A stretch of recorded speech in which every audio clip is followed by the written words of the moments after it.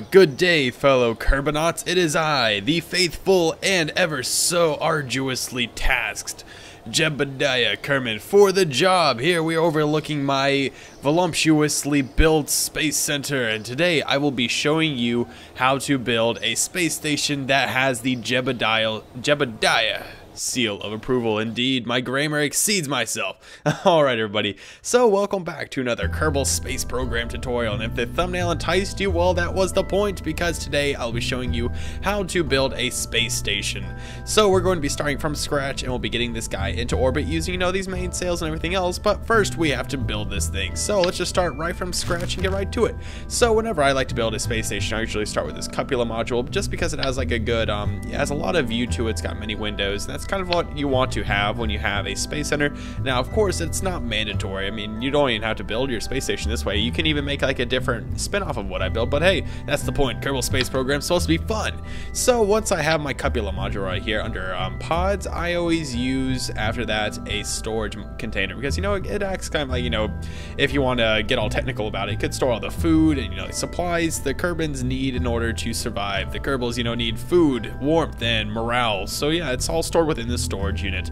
So after this storage unit, what I tend to do is, this um depends how well you are with docking, because um if you build a space station, I I assume you want to dock with it at some point, so I, yeah, that's that's my assumption. so um if you if you go with docking, just go right ahead and put this docking port on right here, but you know, for those of you who aren't very seasoned with docking, not an issue, um, I usually have to put on this Rockomax brand adapter, you know, it just makes things a bit easier and it's not so stressful when you have to dock. So um, if you do not, you know, you not go with docking, feel free to put in an extra part there. You can even put in a structural strut. You know, let's just say, you know, worst case scenario. Or, you know, we could just put in a structural fuselage because those things always like those, um, they help pretty well. I mean, putting a nice little fuselage in there seems to alleviate a lot of the stress of docking. So right here, or you know, better yet, it, uh, hmm, let's see here. I'm I really enjoy using this one little piece right here. I'm trying to find it. It's one of these uh, little connectors. Ah, yes, right here, the module girder adapter. This thing, yes. I'm sorry for being all um, tongue-tied. It seems this uh, little adapter here seems to go well with the color of these modules here and you know it's a nice little bonding unit. And if you want to be all symmetrical you can just uh, make a copy of this. All you have to do is just press W twice to get it to flip upside down. You have these two girders and you have a nice little docking section underneath. So after you have this section right here this is pretty much the core of our space station. We've got the place where we dock and we can have our Kerbals going in and out of here.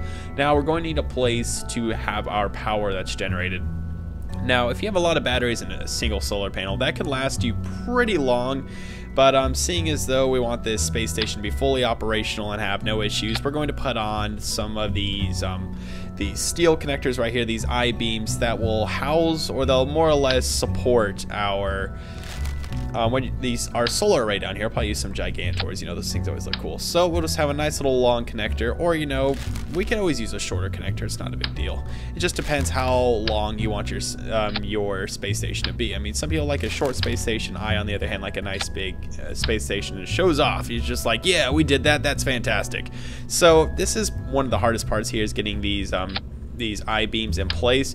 If it's on the side like this, just press D on the keyboard to get it to go like this, or A to get it to go back up. This is just basically as simply as I can say it. Now, keep in mind that there are two directions these beams can go. You can either have a slant, or you can have, you have a straight beam like this, or you can have a little slanted beam in between. It doesn't really matter, but if you are OCD and you like having your beams go the same direction, well, you know, you might want to try and have them go the right way. So yeah, let's just try and get this guy in the right way. I'm having some difficulty. There we go, fantastic. Now, it, that's one of the the woes of Kerbal Space Program is trying to get everything in place correctly. All right, come on now, you get on that node, Mister. Oh, you you little joker. I know you're always the tough one. The last one on there, it's always the toughest. Ah, there we go. Oh, no. Oh, fantastic. All right, so after this, I don't really like doing an intricate, you know, um, mesh girder uh, situation. I just usually just like to put on my Gigantors right there, no questions asked. So you can just put these guys on at the very end, and at the end, we'll put these on some action groups so they can all toggle at once. Because everyone likes, um, you know, a nice little synonymous solar array, because that is always so cool. And let's just say, you know, you want to communicate with Kerb, and you know, you put a nice little um, antenna right down right there, and it seems as though it has disappeared. I cannot explain explain that actually. You know, if you just want to put some science on here, feel free to do so. You know, you put on some barometers, get all sciencey with it. And actually, speaking of science, the .22 update that's going to be coming out pretty soon, there's a new science module. That's going to be so cool. And it'll really help with the career mode because that's the main deal with it. Um, it helps, or you'll be able to get science from space, be able to like collect samples and stuff, and it'll help you unlock new modules. So that'll be cool for career mode. Now, this is essentially our rocket, or not our rocket. this is our space station in a nutshell, really. So basically, we have our solar array down here. Now, we are going to add some more little um, apparatuses to help things go smoother, but you know, this is really a docking module. It's um, uh, I'm pretty sure if you want to dock, you'll have to have your Kerbals EVA to get into these modules here. I'm pretty sure this can stow four Kerbals, a storage unit, and this cupola can only store one, if I'm not mistaken. Here, let me take a look real quick. Uh, yeah, minimum crew to operate is one, so I'm assuming you can store more than one Kerbal. I don't usually use the cupola module, so, you know, my guess may not be too good. Now, since we have solar arrays, we are going to want some battery packs. Oh, yes, plenty of these battery packs. That's always a great idea. So, we'll probably just stow two of these guys right around here or, you know, we can put them on the main module. It doesn't really matter. It just depends how cluttered you want or you dislike your module being. So like if you just want to put uh, three or so battery packs here, feel free to do so like so. Just put these guys on here like so, and you've got three battery packs, and these things have a mammoth charge. So you'll never have to worry about those going out with all these Gigantors. Now for some lights, because docking without lights on the dark side of the moon, or not the moon, just dark side of Kerbin whatever planet you may be orbiting, is a struggle. Let me tell you that it is the struggle indeed. Now actually, no, I think I am just going to put the these battery packs down here on um, this little girder right here, this I-beam, it'll just make things easier and less cluttered. So let's just go grab ourselves another battery. Oh yes, look at that. That is quite a lot of charge right there. Look at all the wattage. It is piling up. Alright, so let's just see. Let's find ourselves these Illuminator Mark IIs, and we will station some of these. Now I'm just going to do these custom right here. Um, so we'll be able to see our docking undergo. So yeah, it'll be a nice little process. And we'll just put one over the windows here. Now this is, if you have symmetry on, this will not be able to happen. You also have to do it manually. So yeah, just a little FYI right there. Alright, and we'll just put some more down here so you can see your docking undergoing itself. Alright, there we go. And if you fancy, you know, putting on some more lights, you know, you just like having a nice lit up spaceship. Well, don't, no, no fear, you, you can do that. All right, here we go. So let's just put these guys up here, and I, you can kind of nozzle them in here. I'm not even sure if that would really work, but you know, if you want things to work really precisely, you could get them on here just by, you know, toggling back and forth with W, A, S, and D. Yep, you can just do something like this. I'm, let me just put four lights right here. Yep, that should really help illuminate the place if we can get everything to get on there all nicely without crumbling. All right, yeah, that should do the job. Now we're just going to put on some RCS ports just to help with maneuvering when we are getting into orbit initially. All right, so let's just put some of these guys on right here. We'll put on plenty, you know, just because so it can be really maneuverable. Everyone likes a maneuverable spacecraft, am I right? So where am I right? Alrighty, and we'll just put four more of these guys if it'll work. Uh, does not seem as though that'll work. So I guess we'll just put two or so of them right here, if we can. Uh, maybe, yeah. They seem to fit in there all right. Uh, not really. Here, let, us try that. all right, and now we will need some RCS. All right, so let's just stow a couple of these bad boys right on here where we have some extra space. So, where are they at? Oh, yes, under propulsion, under my mammoth of mods. Yes, all right, so let's just put some of these tanks on here. Oh, yes, all the voluptuous RCS. We're going to need plenty of it. Well, not really, but, you know, it helps.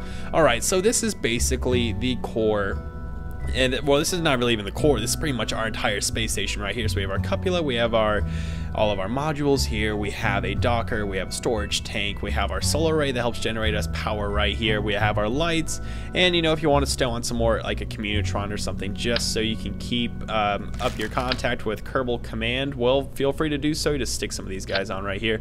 And if you just want to have that stray commutron off the side, well, hey, you can do that, no issue. Just like put, let's just put two of them on the sides. Fantastic. So yeah, this is our space station in a nutshell right here. Now, I'll meet you guys on the the launch pad because, you know, the standard launching procedure is going to be the same with me. Just going to be asparagus staging with the mainsails and some big old Rockomax tanks. But um, that's really all for the first part of this video, guys, and I'll see you all on the launch pad. Alright folks, so we have chosen the Jebediah Kerbin, the one and the only hero of the Kerbals for this job to manage our space station. Alright, so we have all of our staging correct. I even set up some action groups, so I'll show you guys those once we're in a sufficient orbit. But we are ready to launch, so in three, two, one, liftoff. Oh yeah, look at this. Now, since this is a very, uh, very typical launch procedure, we'll be getting ourselves to about 100,000 uh, meter orbit. We'll be doing about, um, I reckon about a 2,000 meter per second, you know, orbit around the planet Kerbin. So this is all but stereotypical, so I may just skip this part and see you guys when I'm making the final adjustment adjustments. So yeah, basically, I just want to talk a little bit about the spacecraft here. Um, this, uh, you want to make sure to use a lot of struts when you're making yourself a space station as unless you want to craft it in space, and if you're not good at docking, I wouldn't recommend doing that. Um, you're going to want to use a lot of struts. You can see I'm just basically battening down the hatches and doing some asparagus staging. Oh yeah, look at that. And yeah, I'm doing the typical fuel line asparagus stage, you know, all the same right there. So yeah, looking fantastic with all of our main mainsails. Now, I I do believe I made a couple modifications. Let me just take a look. Yeah, I moved around the battery just a little bit and the RCS and some of the lights. But yeah, nothing out of the ordinary that we're not used to. So typically at 10,000 meters, you know, according to Scott Manley, we make our burn right here. Not really a burn, our um, gravity turn, just so we can get the most out of our engines. Now, speaking of getting the most out of our engines, one thing you do not want to do is go over 200 meters per second while you're under 10,000 meters. Uh, but, you know, since we're above that right now, it is not a big deal not at all. All right, so we have our apoapsis at about 101 in meters. You know, it's not a big deal. I usually like having a space station around 100,000 because, you know, the purpose of a space station is to kind of be like a rendezvous or, you know, like a meetup location where Kerbals can, you know, get some motivation, watch a TV program or two, share a story, and then they head off their separate ways. So, yeah, 107,000 by about 99,000, that's, that's decent. You know, since we're not aiming for total perfection here, it's okay if we're not, you know, um, as precise as we normally would be, say if we were doing like a burn that was going to get a periapsis of 20,000 meters on Duna or something like that. So since we're just orbiting the planet Kerbin, it is not a massive deal if we're off by about 10,000 or so meters. So let's just get to our maneuver node and then we will time accelerate. Now, um, I probably will cut out the whole launch sequence because, you know, it's really stereotypical. I know I do all that stuff all the time. So yeah, we actually did have a bit of an issue when we were launching off. We lost two of our fins when we were doing some asparagus staging. I broke the number one rule of asparagus staging, which was decoupling while moving at a high speed and doing a bit of maneuvering, and we lost some tail fins. Thankfully, it wasn't anything else like a solar array or what, what have you. But um, yeah, we lost some tail fins. But since we'll be ditching that uh, lifting stage in about uh, 1 minute and 45 seconds and counting, it's not really a massive deal. And unfortunately, we'll have a lot of fuel that will be tossing back down to Kerbin. So, you know, if somebody wants to put that in their gas station, you know, say it's Jebediah's fuel, he autographed it, well, you know what? That's going to be a bit of a sales pitch that they'll have to uphold. Alright, so about 20 seconds away from our burn. 10 seconds, fairly decent. And let's just start doing our little burn right here. Alright, probably turn off RCS. We don't really need that right now since we are actually thrusting up. And we're just going to stick right with our maneuver node. Now, if I was to do full blast right now, not only would the mainsail overheat, but we'd miss our maneuver node by quite a bit. So, you know, pro tip, don't fire your thrusters while you're doing a rather small burn or else you're going to overcompensate and you'll have to like do some burns at apoapsis or periapsis again. So, you know, in the end, it's just more work for you. So, you know, just take it easy unless you're doing like a big burn, like 2,000 meters per second with a poodle or something, where, you know, you're going to be full throttle for some time. All right, so let's just start start throttling back right here as we conveniently flip around and you know just cut it back even more and we'll try and get as close to zero as possible just keep with our maneuver node as it does stride away and oh yes look at that point two that is quite the burn right there look at that all right, now it actually looks like one of my satellites deorbited. Huh, what do you know? All right, so let's see what we got here. 93 by 112. That's a bit lower than I would like, you know, if I was to do this like on my real series. Well, we would have to adjust that. And we have our Clamp-O-Tron Jr. that will help us decouple right here. So on the count of three, one, two, three, and we decouple. Look at that. Now I'm going to turn on the lights for this so we can see everything. Now I am actually going to hit right here. So let me just do um, switch to docking mode and RCS out of here so we don't hurt ourselves or our solar arrays. Alright, so in case you don't know docking mode right here, if you click on docking mode you, you do your WASD, it makes your RCS react as such. So it helps with docking. Now, um, you know, it also helps you decouple in a sticky situation like we were just in. So we can go back to staging mode and look at us. We are ready. So I'm just going to time accelerate over to the light side of Kerbin so you know we can see everything and we'll extend these solar arrays all in one fellow swoop and it'll look fantastic, believe me. Actually, no, I wonder if my action groups, you know, I'll just wait. All right, let's just wait till we get around to the light side. Oh, yes, and here we are. Okay, here we go. If, if I forgot to set these up, let's see. Oh, wow, look at that. F1, and those solar arrays are going. Look at that. And we have everything set up. We've got our RCS ports. We've got plenty of battery power. Look at those getting charged up like it's nobody's business. We can even extend these Communotrons, you know, to relay back the fantastic sights. You know, speaking of sights, let's flip this guy around right here. Get a good view of the sun and the planet Kerbin. Oh, man, this is going to be quite the postcard photo right here. Alright, let's try and slow it down. Oh my, our space station is out of control. All right. You know what? No, this, I want to see the pandemonium firsthand. Oh wow, this is this is truly fantastic. And look, Bill's left us a note. Or is that Bob? Not sure. Either way, he ate all the snacks, so that, that's something we're going to work through.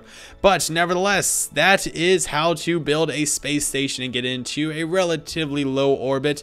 Yeah, 101, very simply. So yes, if you enjoyed this video, make sure, you know, like leave me a comment saying that you liked it, because, you know, it's always nice to see those. And if you're interested in seeing any more Kerbal Space Program tutorials, if you want to request one specifically, that's what the comment section is for. But that's really all for this video, everybody. This is Jebediah Kerman signing out, and I'll see you all very soon soon.